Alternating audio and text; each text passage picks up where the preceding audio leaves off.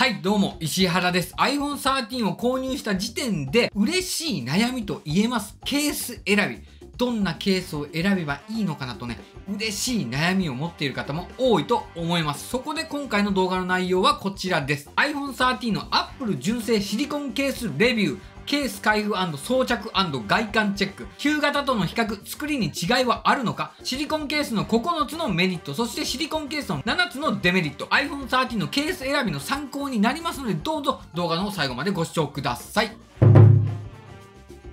はい、ということで、こちらが iPhone 13 Pro のシリコンケースになります。では早速ね、開封していきたいと思います。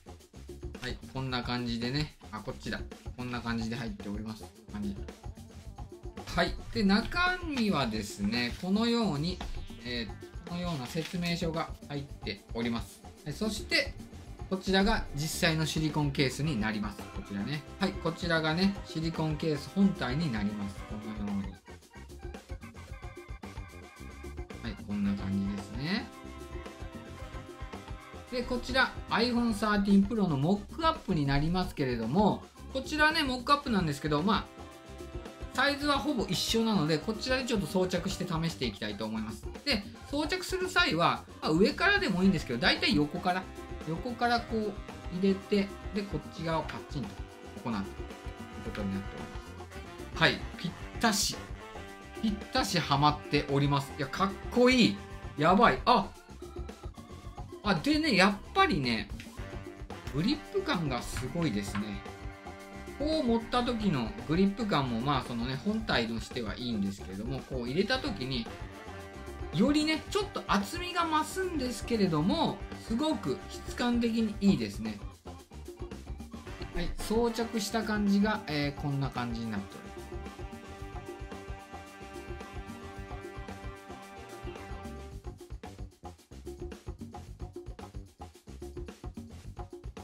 はい、このカメラ部分ね、しっかりと大きく開口されていますので、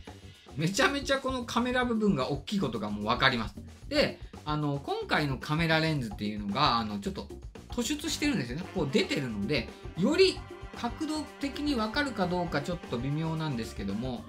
よりね、ここの、ここ、このカメラをま保護する。こちらが出てることによってカメラレンズが直接デスクの上に触れないような設計になっていますので、カメラレンズよりもこのカメラカバーのあケースのこちらの形状の方が出ているということになっております。ここですね。ボタンのところもね、普通に押しやすいです。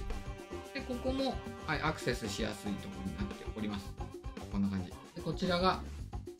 スリープオンオフになります。特に問題なく、はい、クリックできます。で、こちら。こちらがライトニング端子で、スピーカー部分もしっかりとね、穴の数に合わせて開いています。こちらの穴とこちらの穴も全く同じ数開いています。今回のシリコンケースも全て側面は保護されている形になっています。こんな感じで。で手帳型ではないので、前面は一切あのカバーはありません。はい、そして実際に旧型のシリコンケースと比べてどうなのかということなんですけども、ま、旧型僕はこちらね iPhone 12 mini のシリコンケースを使っていますのでこちらとの比較になるんですけども見てわかる通りこちら iPhone 12シリーズのこのカメラ部分はあんまりケース自体が出っ張ってないことがわかると思います。ここのね。でこちら。こちらすごくこう出っ張ってるこう出ているのがわかると思う。で素材なんですけれども素材はねほぼ、えっと、今回の手触りは一緒。手触りは本当に一緒ですね。そんなに変わりがないというか全く同じ素材を使っていると思います。で旧型との比較なんですけども、まあ、作りに対してはねほとんど変わってないんじゃないですかね。先ほどお伝えしたこのカメラ部分のユニットが少し、まあ、出てる以外はほとんどその本体の形状に合わせて同じような形でね、まあ、高さとかサイズ違いますけど同じ箇所にここがプラスチックなわけでもなくてこういうボタンのところも全てシリコンでできているようです。こちらも同じくここはシリコンでできていると思います。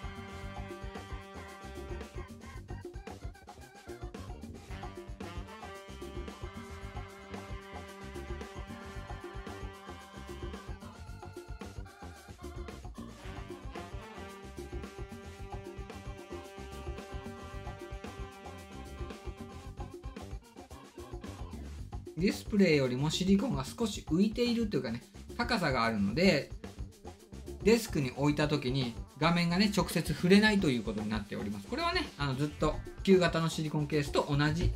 仕様になっております。この辺は安心できるポイントかなと思います。で実際にね iPhone13 手元に届いた時にもう一回装着して皆さんにねご紹介しようとは思っております。しかしねもう本当にかっこよすぎ。本当に。今回ねカメラレンズがでかくなったことでちょっと違和感は皆さんあると思います。ちょっと大きすぎるんじゃないかなと。ただ僕の、まあ、ファーストインプレッションというか印象としてはカメラが大きい分すごくガジェット感が出て、まあ、デザイン的にはシンプルではないんですけどもそういう明らかにカメラスペックが上がって明らかにカメラの性能が良さそうみたいな印象なのでこの iPhone でカメラを撮る時のモチベーションにもつながるししっかりとねスペックアップしてることが伺えるかなと思います。あこちら iPhone12 Pro のモックアップなんですけどレンズの大きさも変わっているのでやはり今回ね iPhone13 カメラのスペックアップは間違いありません。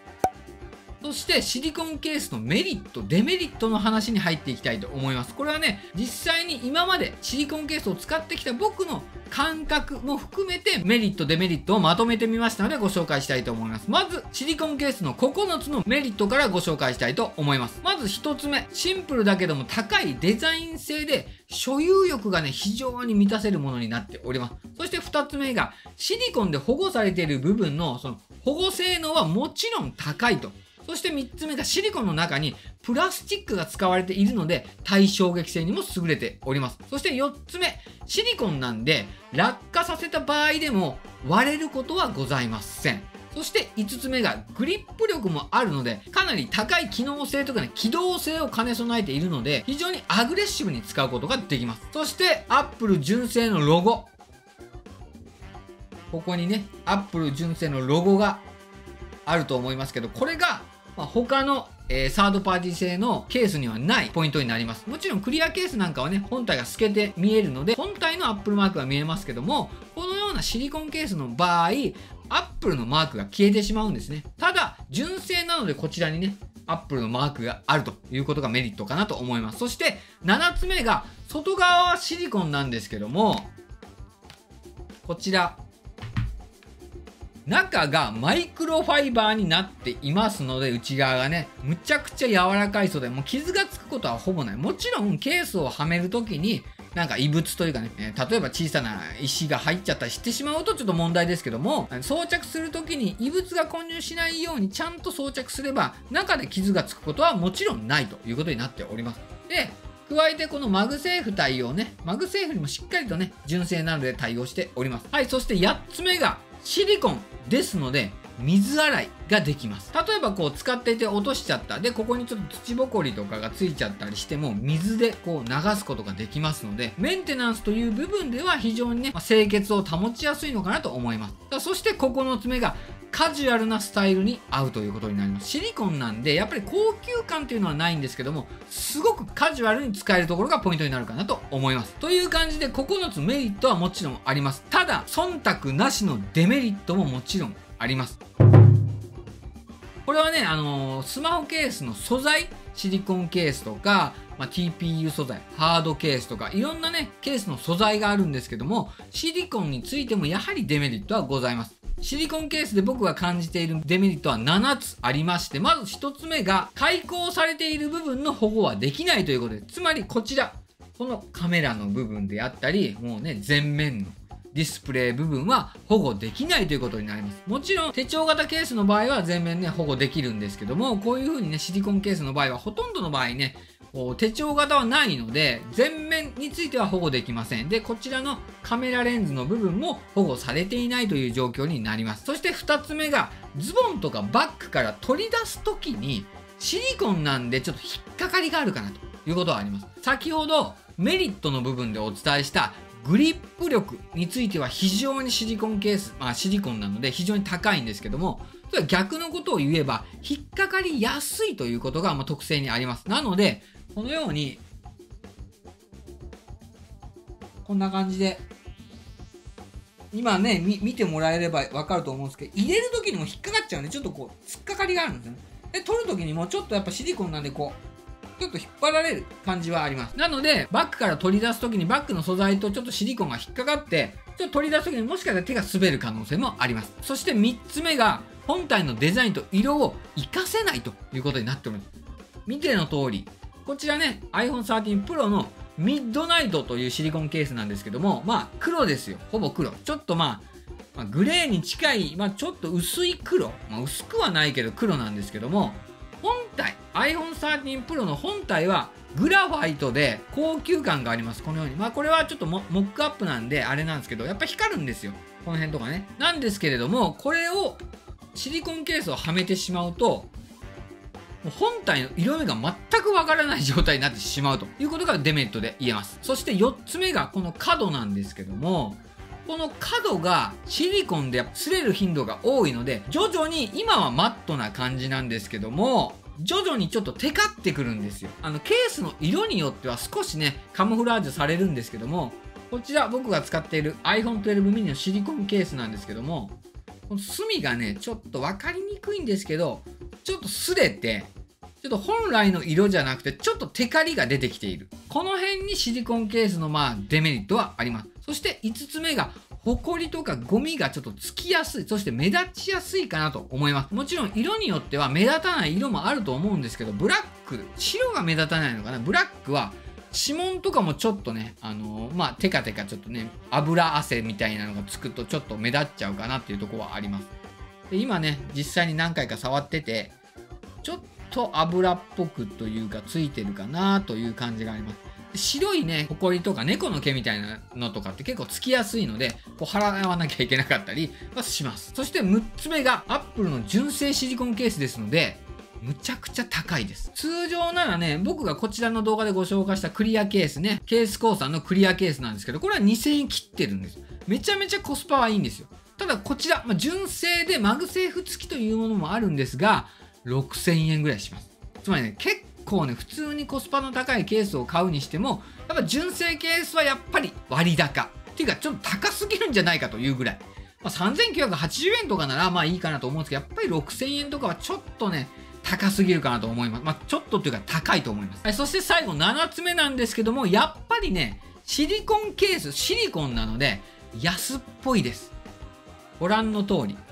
やっぱりね、高級感は失われてしまいます。iPhone 13 Pro とか iPhone 12 Pro でもそうなんですけど、やっぱり本体のデザインって色味もそうですけど、むちゃくちゃ高級感があるじゃないですか。その高級感が一切もう9割方なくなる感じがしますので、安っぽいかなという印象は受けております。以上が7つのデメリットになります。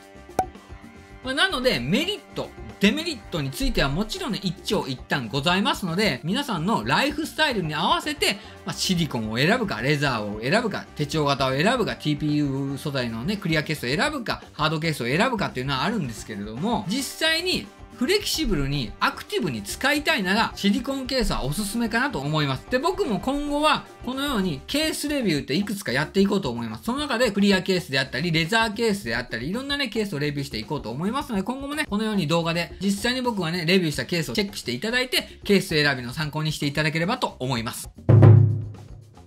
はい。ということで今後もこのチャンネルでは最新の iPhone の情報とか、Apple のケースレビュー、ガジェットレビュー、そして Apple の最新情報について毎日動画をお届けしておりますので、ぜひチャンネル登録よろしくお願いいたします。本日も最後までご視聴ありがとうございました。はい、ではまた次回の動画で